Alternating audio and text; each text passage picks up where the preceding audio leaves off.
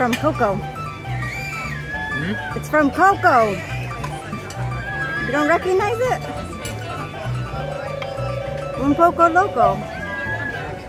Too long ago. You have a terrible memory.